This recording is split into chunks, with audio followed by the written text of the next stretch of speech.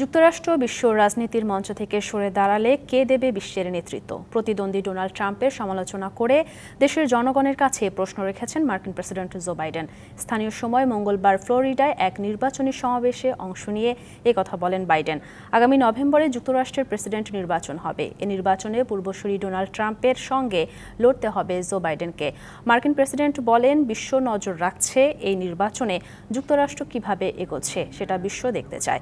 বিভিন্ন দেশের রাষ্ট্রপ্রধানরা আগামী নির্বাচনে বাইডেনকে জিততে দেখতে চান বলে জানান বাইডেন।